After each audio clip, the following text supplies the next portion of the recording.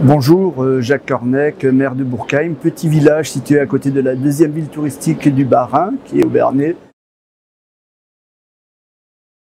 Nous avons un projet de dépôt de pain, mais qui ne fait pas que des pots de pain, qui vend aussi de l'épicerie, petite épicerie et surtout des produits locaux et aussi des objets cadeaux.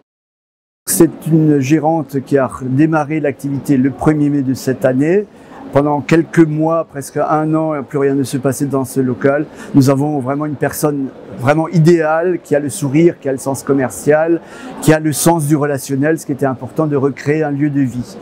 Par rapport à ce projet, la commune euh, a refait tout ce qui était électrique dans ce local euh, pour développer son activité, parce que le pain étant qu'un produit d'appel, nous avons euh, pu bénéficier de, la loi d'Édouard Philippe de 2019 et nous avons obtenu une licence 4 que nous avons mis gracieusement à disposition de cette gérante. Donc la, licence 4 restera propriété de la commune, euh, quoi qu'il arrive. Euh, dans ce projet-là, il nous est apparu euh, que ben, la surface du local est largement trop petite. On est globalement à 35 mètres carrés. Si on accueille 8 personnes, surtout que ben, la mauvaise saison approche, c'était un peu limite d'avoir cette capacité réduite.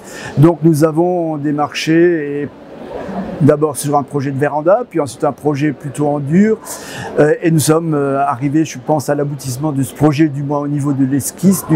Et nous avons pour ce projet donc un toit plat qui a été validé par l'architecte des bâtiments de France et qui comprendra donc une extension entre 60 et 70 mètres carrés avec un square qui est attenant qui permet justement aux personnes qui gardent des enfants, aux assistantes maternelles d'avoir un œil quand même sur les enfants.